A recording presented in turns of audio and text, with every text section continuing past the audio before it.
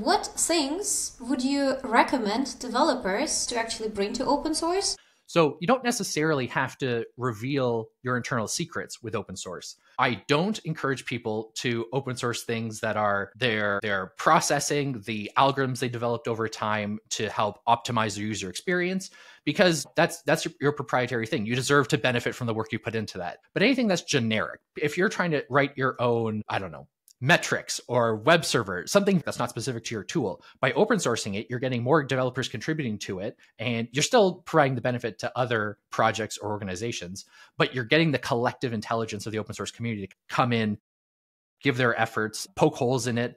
Uh, a lot of the times you'll get these Linux bugs that get reported and very serious vulnerabilities that went unnoticed for years. Like the amount of bugs in Windows and Mac, we won't know because it's not publicly reported. They want to keep everything locked in. But Linux, you can really just like dive in and get deep analysis of how the code is functioning, which just provides a lot more trust to the user because they know that the world of technical auditors have the ability to see the code and, and identify issues. So you're going to establish more trust if you open up portions of your code, but don't feel obligated to open source your project if you can contribute to the open source in general.